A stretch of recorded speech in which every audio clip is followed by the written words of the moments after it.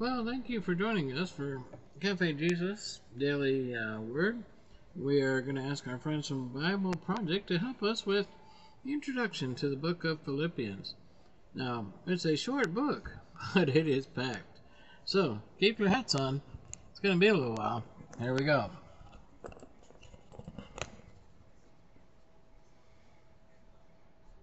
Paul's letter to the Philippians. The church in Philippi was the first Jesus community Paul started in Eastern Europe, and that story is told in Acts chapter 16. Philippi was a Roman colony in ancient Macedonia. It was full of retired soldiers, and it was known for its patriotic nationalism. And so there Paul faced resistance when he was announcing Jesus as the true king of the world. And after Paul moved on from there, those who became followers of Jesus continued to suffer resistance and even persecution, but they remained a vibrant community faithful to the way of Jesus. Paul sent this letter from one of his many imprisonments, and for a very practical reason.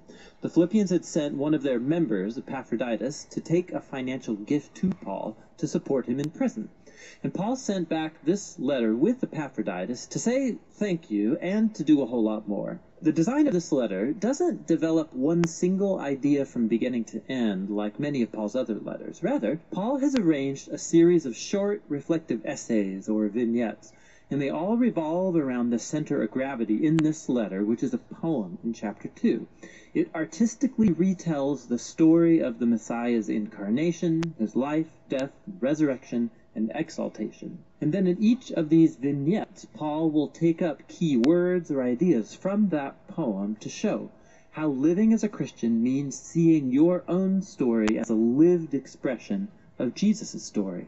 So Paul opens the letter with a prayer of gratefulness, and he thanks God for the Philippians' generosity, for their faithfulness, and he expresses his confidence that the life transforming work that God has begun in them will continue into greater and more beautiful expressions of faithfulness and love. And Paul then focuses on their obvious concern at the moment, which is his status in prison. Being in a Roman prison was no picnic but it paradoxically has turned out for good to advance the good news about Jesus. So all of the Roman guards, the administrators, they all know that Paul's in prison for announcing Jesus as the risen Lord. And his imprisonment, it's inspired confidence in other Christians to talk about Jesus more openly. And Paul's optimistic that he will be released from prison, but it's possible that he could be executed. And as he reflects on it, that actually wouldn't be so bad because for me, Paul says, life is the Messiah. And so dying would be a gain. For Paul, his life in the present and in the future, it's defined by the life and love of Jesus for him. And so if he's executed, that means he'll be present with Jesus, which would be great for him. And if he's released, well, that would mean he could keep working to start more Jesus communities, which would be better for other people. And so that's what he hopes for. And notice how his train of thought works here dying for Jesus is not the true sacrifice for Paul. Rather, it's staying alive to serve others. And so that's Paul's way of participating in the story of Jesus to suffer in order to love others more than himself. Paul then turns to the Philippians and he urges them to participate in Jesus' example by taking up this same mindset. He says, Your life as citizens should be consistent with the good news about the Messiah. So these Christians in Philippi, they were living in a hotbed of Roman patriotism. But their way of life was to be shaped by another king, Jesus. And that might bring persecution. But they are not to be afraid because suffering for being associated with Jesus, it's a way of living out the story of Jesus himself which leads Paul into the great poem of chapter 2. It's rich with echoes of Old Testament texts, specifically the story of Adam and his rebellion in Genesis 1 through 3, and the poems about the suffering servant in the book of Isaiah. This poem is worth committing to memory. It is a beautifully condensed version of the gospel story. So before becoming human, the Messiah pre existed in a state of glory and equality with God. And unlike Adam, who tried to seize equality with God, the Messiah chose not to exploit his equal status for his self advantage. Rather, he emptied himself of status. He became a human.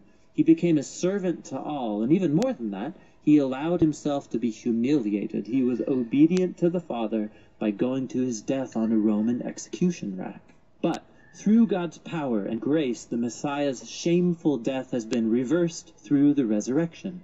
And now God has highly exalted Jesus as the King of all, bestowing upon him the name that is above all names, so that all creation should recognize that Jesus the Messiah is Lord to the glory of God the Father. Now, that last statement is astounding. Paul's quoting from Isaiah chapter 45. It's a passage where all creation comes to recognize the God of Israel as Lord.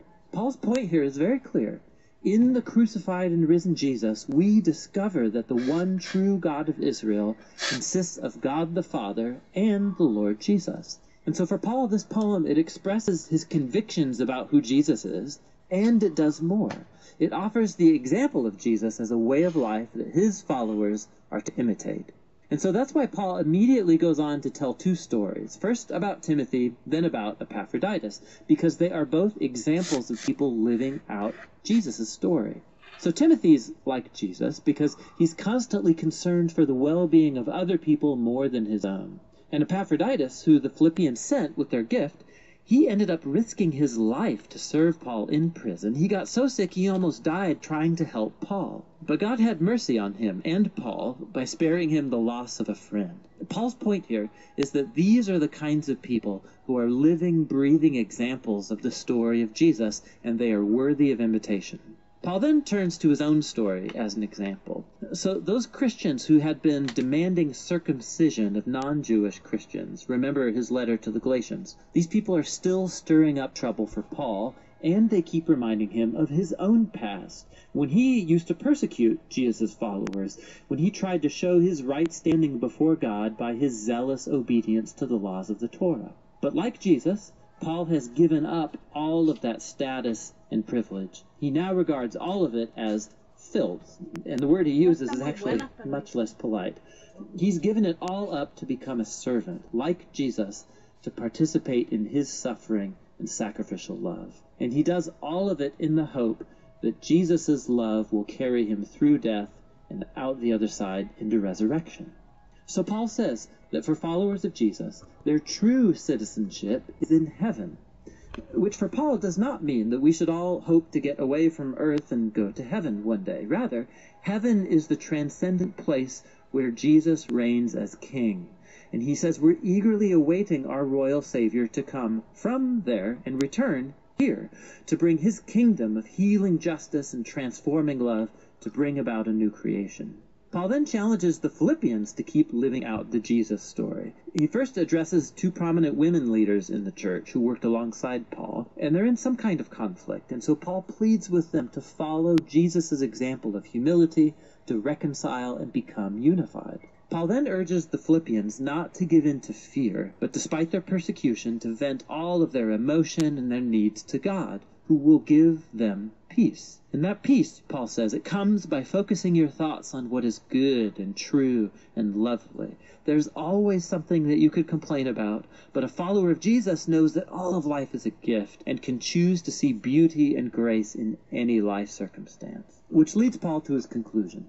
He again thanks the Philippians for their sacrificial gift, and he wants them to know that his imprisonments, that his times of poverty, that these are not true hardships for him. They've actually become his greatest teachers, showing him that no matter his circumstances, he has learned the secret of contentment. It's simple dependence on the one who strengthens him. Paul has come to see his own suffering as a participation in the story of Jesus. The letter to the Philippians gives us a unique window into Paul's own heart and mind. He saw his entire life as a reenactment of the story of Jesus. And you can sense in this letter his close connection to Jesus, his awareness that Jesus' love and presence is closer than his own skin. And that's what gave him hope and humility in his darkest hours. And so Paul shows us that knowing Jesus is always a deeply personal, transforming encounter. And that's the kind of Jesus that Paul invites others to follow. And that's what Paul's letter to the Philippians is all about. And there you have it. Philippians in a snapshot.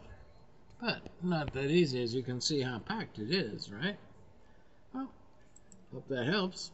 Have a wonderful day in the Lord. Keep on studying. You're not going to learn that just by scratching your head. Have a great day.